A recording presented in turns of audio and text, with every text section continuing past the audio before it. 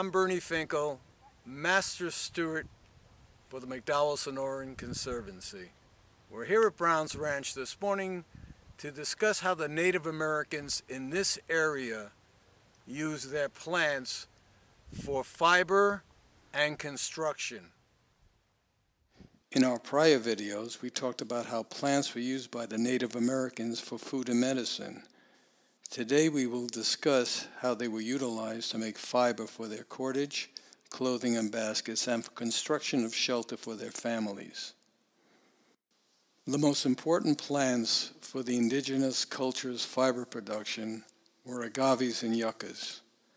Both agaves and yuccas are monocots. One of the characteristics of monocot plants is that their veins, which are conduits for food and water, are aligned in a parallel fashion throughout their elongated leaves. In this area, yucca was the plant of choice over the agave because it was plentiful. It produced the best quality fibers, and agave leaves contain high levels of calcium oxalate, which could cause dermatitis in the handling of the leaves. The soap tree yucca and the banana yucca were used extensively for fiber, with the best quality fiber coming from the younger leaves with the banana yucca having the highest tensile strength. The process of turning the leaves into fiber, decortication, began by placing the leaves on a stone or wooden surface.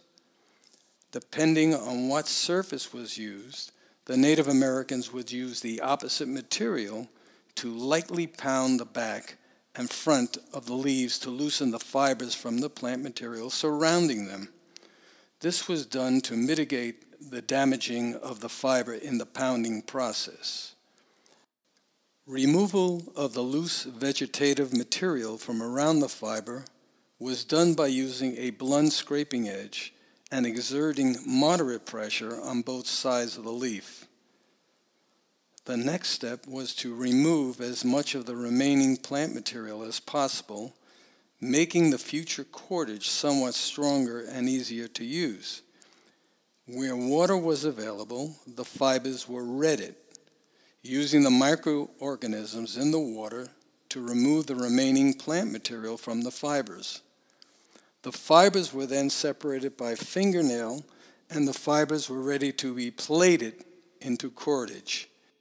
These threads were used to make rope, mats, sandals, clothing nets, mattresses, and baskets. Agave leaves were normally baked in a pit to make the scraping process safer and easier.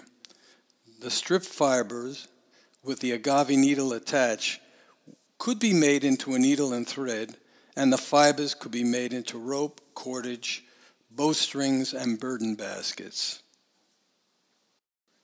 Baskets played a very important part in the life of the indigenous peoples, especially those that were nomadic.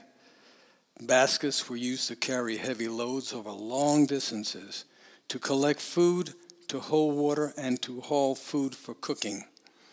Baskets were used in every step of food processing, and specialized basket utensils such as harvesting trays, sifters, cooking and serving bowls, and containers to store food.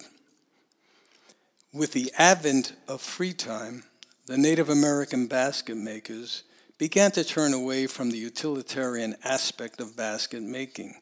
Skilled basket makers strove for perfection and design, form, and technique to prepare these objects of artistic quality. While the mesquite played an important part of providing food for the Native Americans, it also contributed to their fiber needs. Material from the inner bark was rubbed and pulled away to make soft fiber that was used to make nets and clothing. Fiber was also attained from the mesquite's roots to make cordage.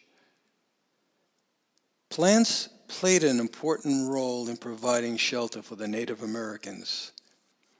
For nomadic groups such as the Apache and the Yavapai, a temporary domed shelter was constructed using mesquite and willow for the infrastructure and grasses such as bear grass and bushes to fill in the infrastructure.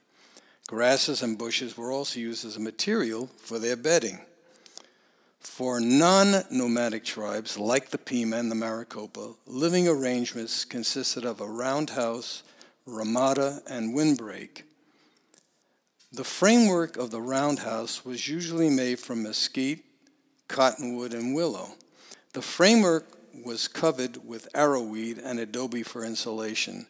These structures were used primarily for sleeping and escaping severe weather. Most family life took place outside under the shade of the ramada. The ramada was usually built with four mesquite posts connected with wood beams or saguaro ribs with arrow weed piled on top to provide a roof. The windbreak was constructed using a mesquite lumber frame with arrowweed to help screen the wind. Its main purpose was to provide an environment to cook food and take care of domestic duties. While the ocotillo wasn't significant as a construction material, it was important because it was used as a living fence. Ocotillo stems were planted and used as a corral or as a fence to protect their gardens from animals. In our three videos, we briefly covered the parts that plants played in the sustainability and well-being of the Native Americans in this harsh environment, but plants have contributed so much more. I would like to recommend Daniel E. Moerman and his book, Native American Ethnobotany, Timber Press, 1998. is an extensive compilation of the uses of plants by Native North Americans and will give you further insight as to the spectrum of these uses.